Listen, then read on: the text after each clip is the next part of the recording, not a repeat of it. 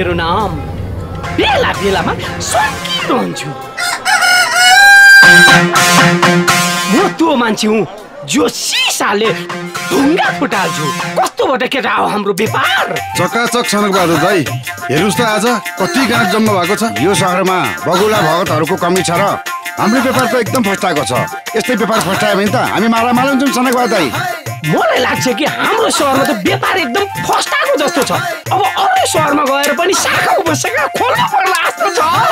What idea Sanak Bahadur दाई। Very good very good सागा खोलिसकेपछि त मेरो चारान पनि आउँछ। त्यति मात्रै कहाँ हो र भाइ मेन पावर पनि थप्नु पर्ला जस्तो छ दाइ थपौँला नि।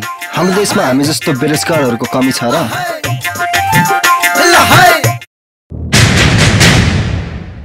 वाह क्या चुवा केटी। हेर्नुहोस् त सनक बहादुर दाई। सनक बहादुर दाई आजको मोज मस्ती बिजनेस यही केटीसँग गरौँ। हो अहिले ठिक भनेस् कोना आइज!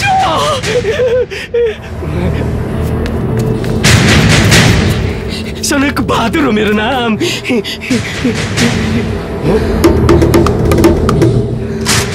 माछा माछा माछा माछा भ्यागुतो भनेको यही हो। क्या क्या मुड बनाएर आएको त साली त पेट खाली पो गर्न आएको रहेछ। सनक बहादुर दाई यो पनि नयाँ अनुभव हुन्छ कि हजुरलाई? ओ के भन्यो? नयाँ अनुभव नयाँ अनुभव गर्नुपर्छ। आइज।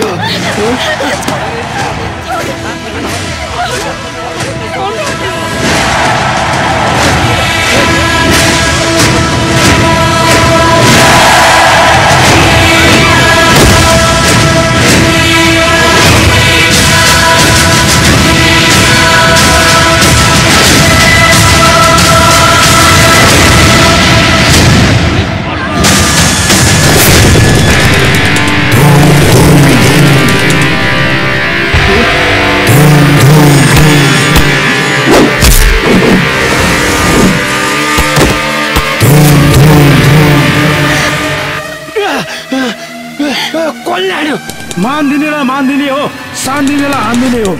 गुन्द्रुक ढेँडो पावर ट्वेन्टी फोर आवर आइपुगेँ म। अब हुन्छ रमाइलो। मचिन्छ धुम।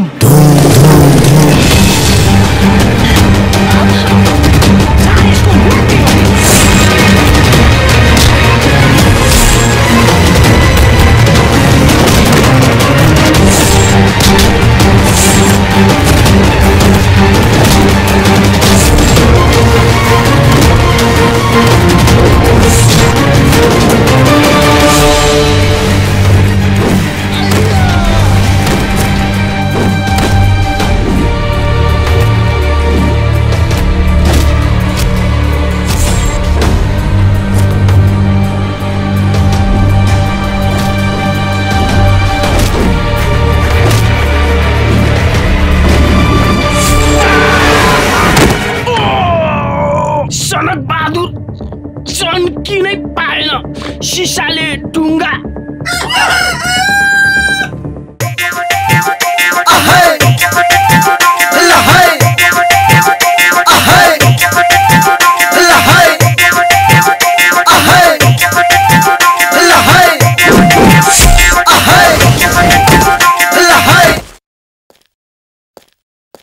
धन्यवाद। तपाईँले मेरो इज्जत जोगाइदिनु भएकोमा यसमा धन्यवादको के कुरा छ? यो त मेरो कर्तव्य हो नि। यस्ता फिल्मी डाइलग चाहिँ नहोस् है मसँग। अनि अर्को फिल्मी स्टाइल हिरोले हिरोइनको इज्जत जोगाउँछ अनि त्यसपछि दुईजना बिच लभ परी। लभसँग नाचु भने पनि यहाँ त सम्भव छैन।